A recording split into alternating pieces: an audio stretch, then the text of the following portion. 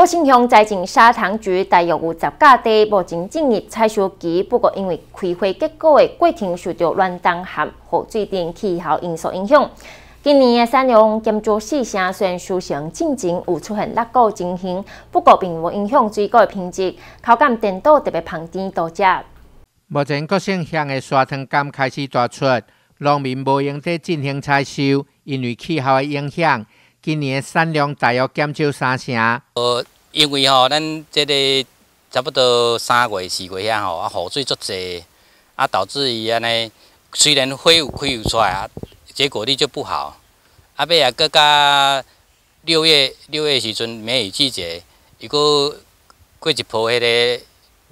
落果，啊，导致吼今年的产量就少了三成左右。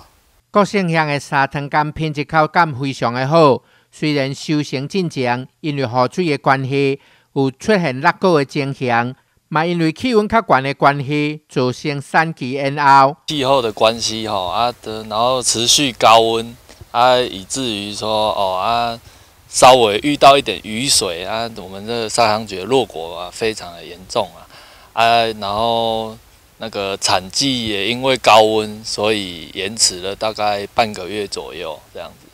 对啊，落果的部分可能有一成的那个损失。农民将采收落来水果，由机器进行清洁筛选，并且分级来包装。虽然今年产期延后，产量减少，不过水果的品质反倒当然是口感特别香甜、高食、滋味赞。那这段时间哈，从现在再到过年前后。是我们国信乡优质砂糖橘的一个采采收期，哦，那因为今年产量少，那我也在这边呼吁我们所有的全国的喜欢砂糖橘的好朋友，要把握这段时间。我相信今年很快就会采完了，哎，如果对砂糖橘、对国信乡的砂糖橘，因为它的品质已经相当的好，有在这边欢迎全国来没有吃过的来品尝一下。今年各县乡的沙糖柑的产量减少四成，不过品质比往年较好，价钱嘛比往年提悬。由于采柑的民众爱把握机会，记者黄龙坤采访报道。